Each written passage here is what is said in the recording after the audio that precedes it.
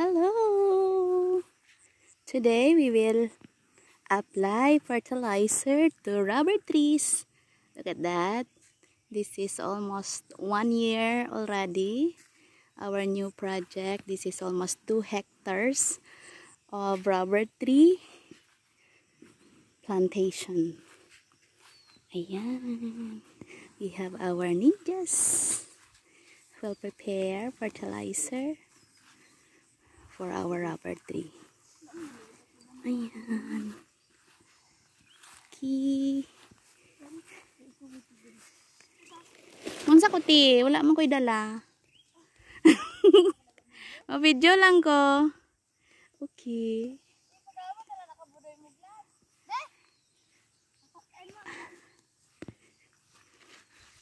Isa lang? Isa. Ako na duha. Ayaw, isa ra. Balis ka. Katutan ako ato ni. Ah. Sige. Okay, ayan. Ang layo po. Puno na, Doy? Puno na, Doy? Abog at ya. Kaya timbangan natin. Dali. Ha? Yan. 2 hectares po yan. Doon pa sa kabila yung iba. Mm -mm. Wala naman ako magawa. Mag-video lang ako dito. Okay. At magsunod-sunod sa mga bata.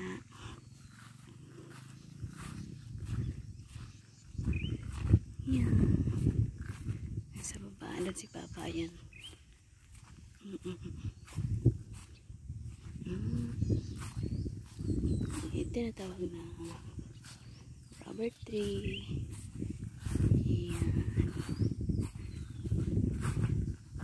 Malalaki na po yan. Mga one year old pa lang yan. Hmm? Started this project last pandemic. Kasi walang magawa. Kaya dito sa farm, tanim lang. Actually noon, ah, puno ito dito ng tubo. Pero ngayon, hindi na kami nagtubo. Ginawa.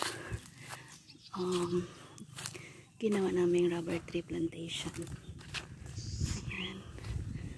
Malawak po yan. Yes, baby Jan. And Kuya Maki. Helping each other. May partner yan sila. Ayan. Tingnan natin doon sa kabila. Dito yung nakit namin. Ayan. Papunta doon sa bahay. Dito. Ayan. Mahirap kasi marami siyang damo. May kailangan anuhin talaga. I lagyan ng hole sa ilalim bago yung abono para hindi ma-wash out kasi pala, parating umulan na yan. oh. Madilim na naman. About to rain.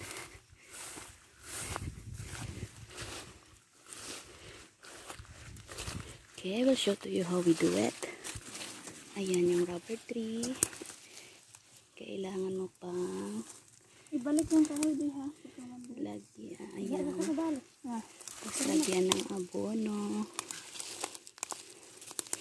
At saka balikan uli ng lupa. Ayan.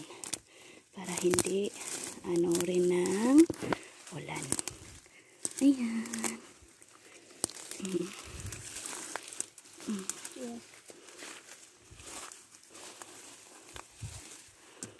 Mm,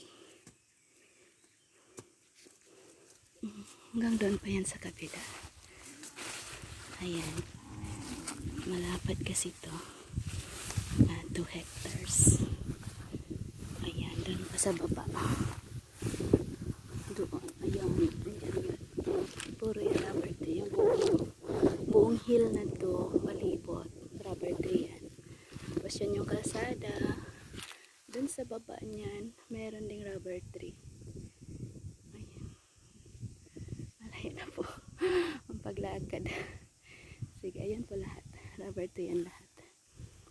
Mm. Tapos dun sa kabila naman, kabila magtatanim kami doon ng kamote. We'll have our video soon.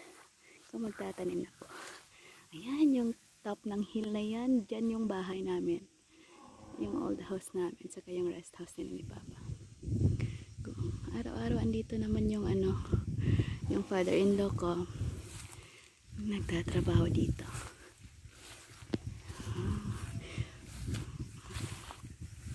Thank you for watching. Ayun. Bye na po.